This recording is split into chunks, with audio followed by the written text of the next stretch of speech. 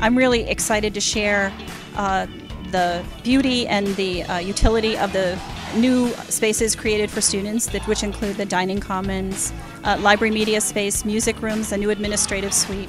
Uh, we had uh, many people come out tonight on a Friday night to take a quick look, and I'm incredibly uh, gratified that not only students and parents but members of the community came uh, because we are so grateful for their support. The uh, tax dollars that they're contributing to this project really uh, enabled us to create wonderful spaces for teaching and learning. So we're very, very happy to uh, be able to finish this phase uh, and continue to do a very high quality product that will um, be useful for students for generations to come. So thank you very much.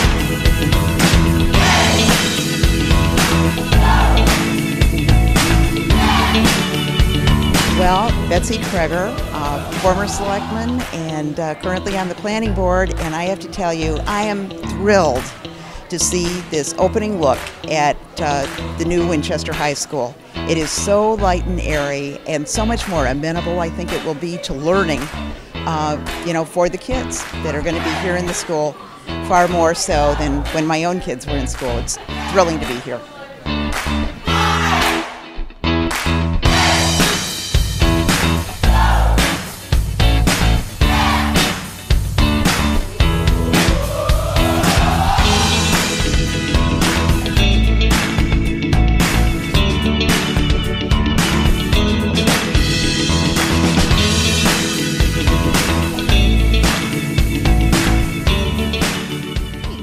I'm Mrs. Chris Kelly, and I'm the interim principal of Winchester High School.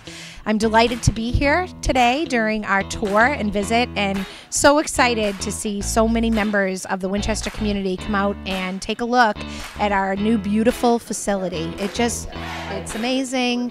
We love it.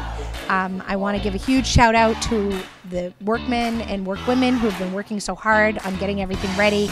Of course, our own high school custodial staff who have been putting in tremendous hard work and hours, and also the Winchester High school staff that came in just the other day and had to unpack hundreds and hundreds, I think maybe even thousands of boxes, and did it happily and with a smile, and all the benefit of getting everything ship shape for Tuesday.